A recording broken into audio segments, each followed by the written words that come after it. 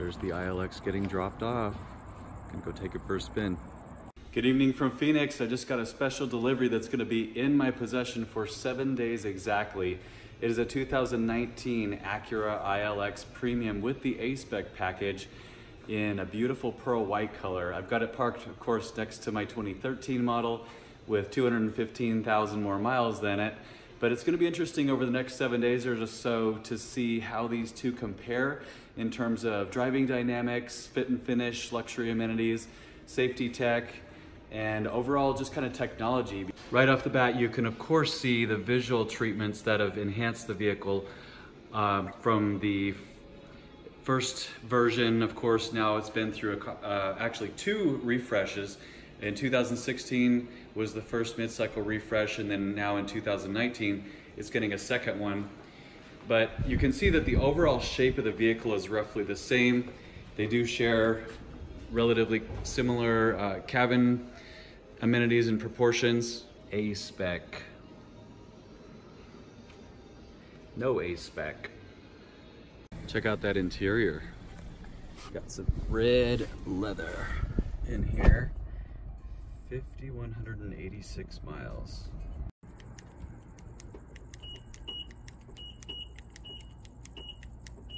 That's fun.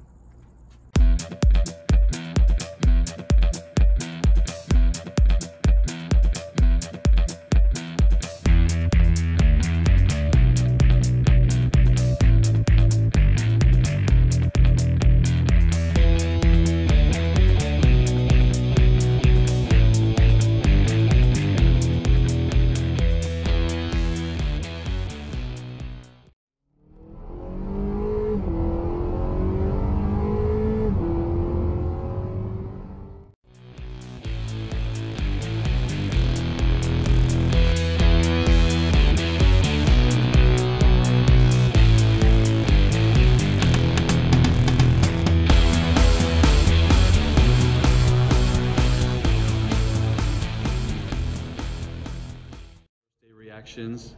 Definitely feels like a different car. I enjoyed commuting in this thing. The stereo rocks.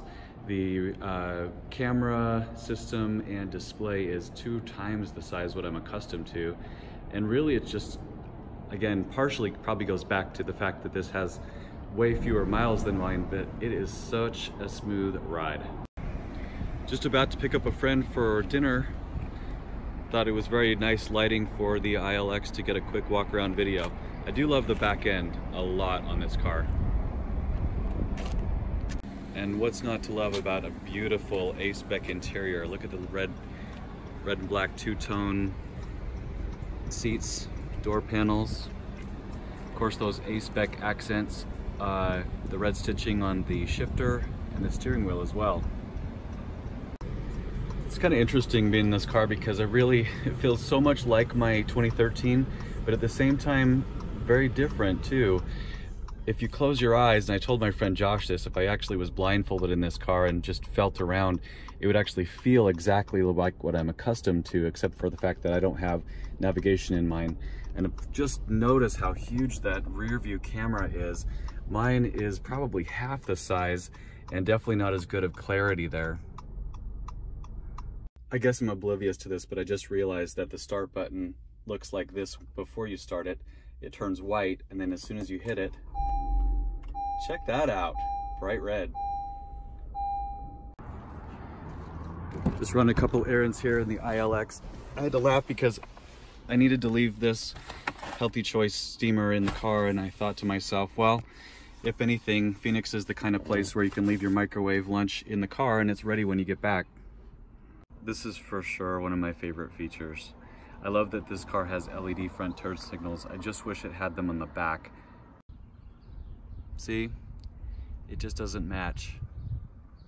I'm just getting ready to wrap up my review on the 2019 ILX. I'm gonna give you a sneak preview.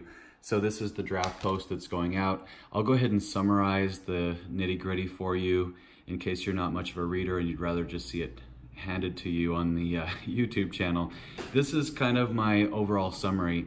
I think the car definitely delivers everything that I love about my 2013, uh, excepting of course for the clutch pedal, which is, as a manual transmission enthusiast, is a big um, drawback, but I recognize that the industry doesn't necessarily care much about sticks anymore.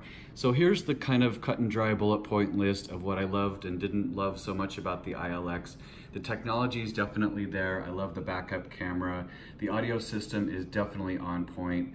The uh, styling enhancements that were made for 2019 are phenomenal. I really especially appreciate the back of the car. Uh, it's fun to drive dynamics. It's a really easy day-to-day -day cruiser, especially in traffic.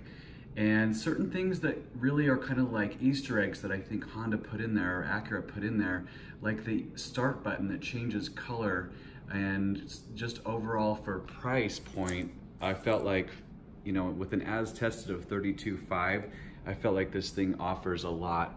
As far as things that it could stand to improve, the uh, inconvenient sort of way to hook up your iPod and uh, cigarette lighter for your phone charger. It's still located inside the center console, which is a bit bulky to, to lift up and navigate. The rear tra cross traffic alert, I found it to be very sensitive. There is inconsistent lighting with the front uh, turn signals being LED and the rear are halogen. The A emblem got a lot of criticism for being gigantic. I recognize that there's driver assistance technology embedded within that. Um, the, the black wheels, even though are all the rage these days, um, I'm still more of a silver slash even chrome kind of guy. And then uh, one thing that you'll notice on one of my pictures I put on Instagram, I have a side-by-side -side showing my ILX with upgraded LED license plate lights and the 2019 with halogen. And you can just kind of see the subtle upgrade that that would be if they were to just add some uh, LEDs to that. Uh, here's a quick comparo of the keys themselves. So as I mentioned, my 2013 key really early on started chipping away and then they made great, uh, great improvements to that with the uh, later models. So this has a lot more heft to it and it feels like it'll hold up better over time. So nice job on that. Overall, super cool ride. I enjoyed putting a few hundred miles on it and I hope you guys take the chance to check one out for yourself. Thanks for watching.